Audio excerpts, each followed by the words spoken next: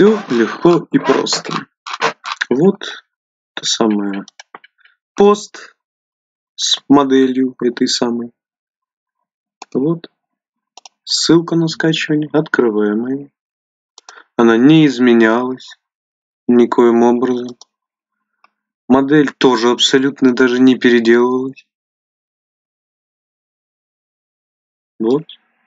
Заказчик 124, просмотр 114.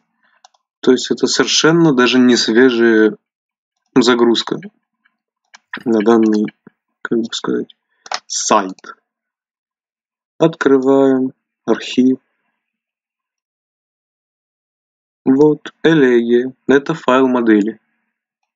Он заблокирован. Чтобы мы, ну, мы его сейчас откроем, потому что это не супер сложный какой-то лог, то есть блокировка модели от посторонних глаз, то есть от меня конкретно, потому что никому она больше не нужна абсолютно. Я больше чем уверен.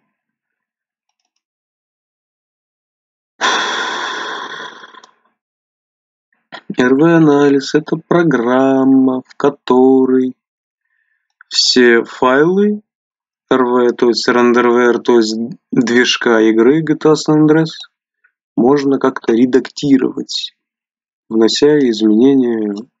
Как бы, я не знаю, я не программист, я просто рядовой пользователь и моделер, любитель. Меняем файл версии, точнее наоборот версию файла. И все это сохраняем, дабы у нас модель уже как бы была вот такой вот открытый от блокировки этой самой.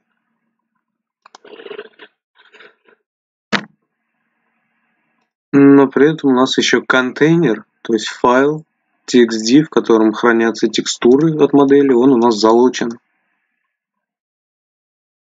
Мы открыли эту модель elegi.dff.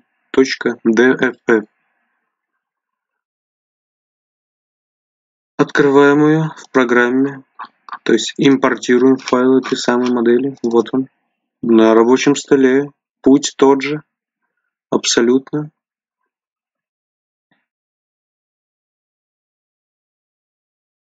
Импортируем. Вот эта модель.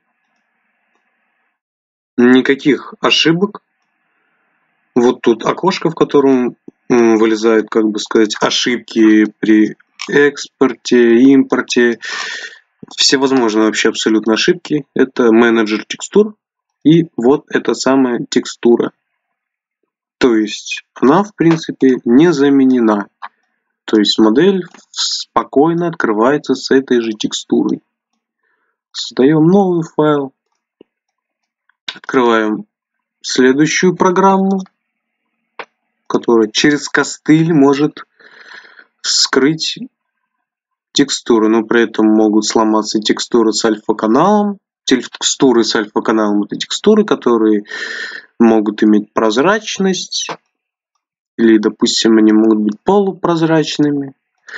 Так, Entry Operation, Convert, TXD, Game, TUSA. Все, мы конвертировали контейнер. Теперь у него другая версия. При этом у нас как бы сломались текстуры с прозрачностью, но текстуры без нее, вот она. Она у нас есть, существует. Мы ее вот сюда сохраняем. И я открываю файл, который я вам прикрепил ранее, mr2. Вот эта модель, которую я прикрепил вам. Абсолютно те же текстуры. Открываем менеджер текстур. Так, где у нас интерьер? Интерьер, вот он. Ну, как бы, я не знаю, абсолютно идентичная текстура. При этом э, при этом, при этом ее бы найти, вот тут вот э, она вот где-то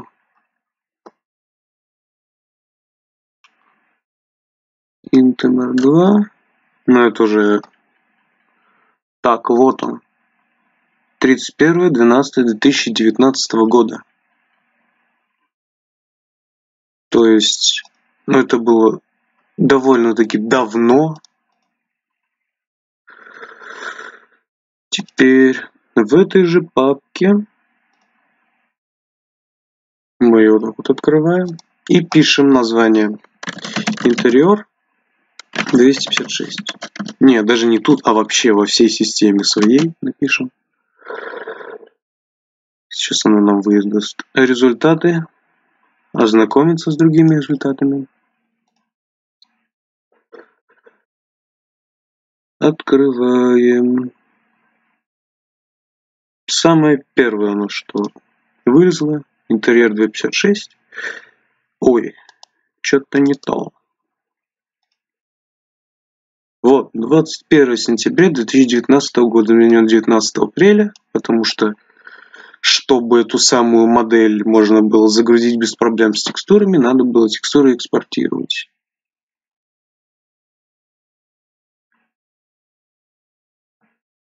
Ну допустим опять откроем допустим мы ее переименуем чтобы у нас не было две одинаковых текстуры.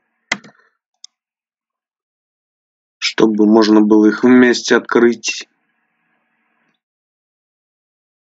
То есть мы сейчас сравним попиксельно даже не знаю. Конечно изображение вследствие множественного пересохранения может испортиться это наверное все знают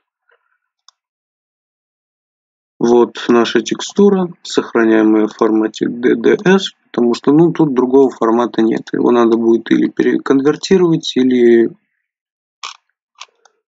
допустим, можно даже так сделать. То есть, заменив вот этой текстурой, можно даже на полный экран открыть было, но нет, не успел. Ничего абсолютно не поменялось. То есть контейнер тот же, текстура та же. Экспортировать PNG. Сохраняем. Сохранили. Открываем Photoshop. Или можно другую любую программу. Открываем. Вот эти самые две текстуры. Открываем первую вторую.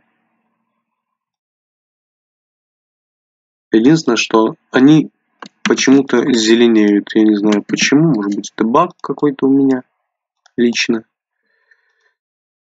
Ну, я не вижу никакой разницы совершенно. Вот они как были, они одинаковые абсолютно.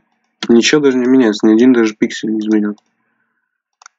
Почему я не знаю. Мне он лично в сообщении писал, что текстуру он типа якобы заменил. В итоге начал сваливать на человека, который, у которого заказал модель. Мол, это он текстуру взял, он, он не виноват. Виноват который заказчик, человек, который вам пишет. А потом в итоге оказалось, что это все-таки рокстаровская текстура. Но текстуры рокстаровские выглядят так. У них разрешение более, как бы сказать, маленькое, меньше всяких различных деталей на этих текстурах. Я даже могу их медленно пролистать, чтобы можно было сравнить эти самые текстуры. Я их тут не закрыл. Вот. Вот, допустим, вот этот кусочек. Вот этот кусочек. Вот этот вот кусочек. И вот эти вот верхние кусочки. Вот это вот. Это конкретно, да, именно текстуры с GTA San Andreas. Вот эти кусочки, это текстуры из GTA Vice City уже. Вот это и вот это лично я сам делал своими руками. А вот это вот, Но это уже делал предыдущий CareMaker, мой хороший знакомый, он предоставил доступ к этой текстуре. Вот все эти текстуры, их можно вам, если очень интересно этим заниматься, вы можете это пролистать, все увидеть. Я ничего не скрываю. Все вот. Ну, в принципе, чем мне тут скрывать, это же не мое. Это текстуры из игры, которую я использую в своих моделях, которые, точнее, даже не использую. И конкретно эти текстуры я давно уже не использую. Это использовал я года два назад. Может, даже позже чуть-чуть. Все. Спасибо.